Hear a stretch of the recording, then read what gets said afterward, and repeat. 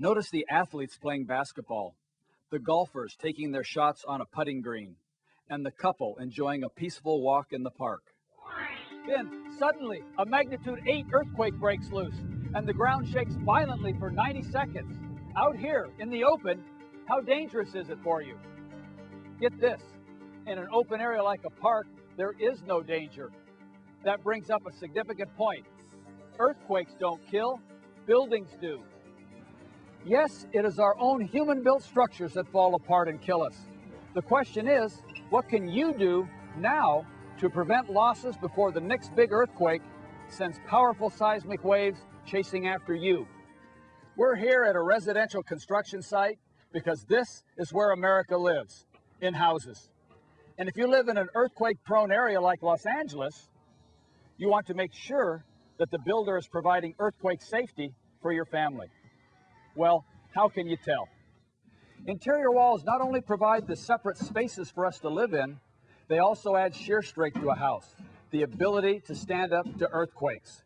Walls connect roof to floor, they connect exterior wall to exterior wall, they add strength to a house. What can you do to make older houses stronger? This model is a basic demonstration of a house with strong walls and strong roof that creates a protective shell for living and working. But how will this protective shell react when shaken by seismic waves? For instance, a Rayleigh wave.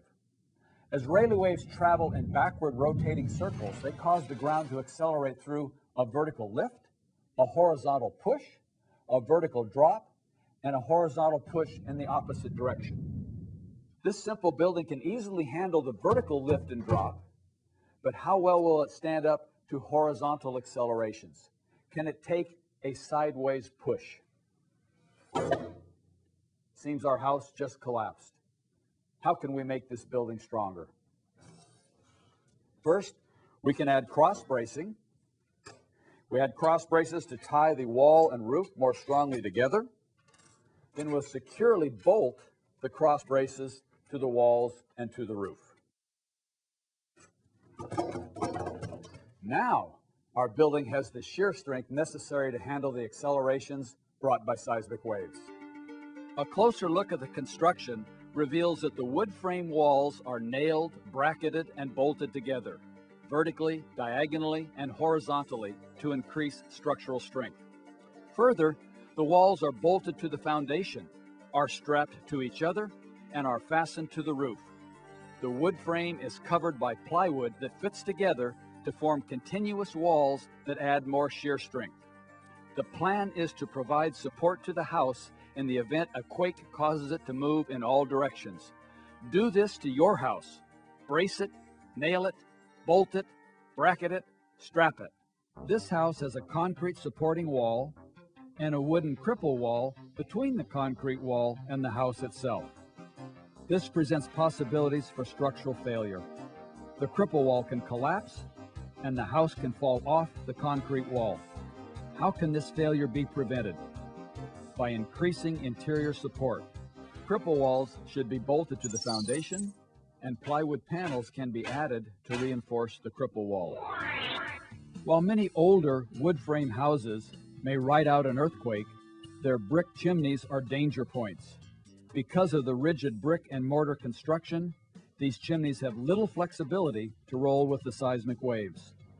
Danger also lurks inside your home. Four of the deaths and many injuries in the Northridge earthquake occurred inside homes as personal furnishings fell.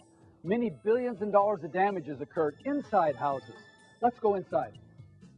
Unsecured gas flame water heaters, shelves with heavy pots, books, stereo speakers, chandeliers hanging over dining tables, ceiling fans hanging over beds, unsecured large screen TV sets.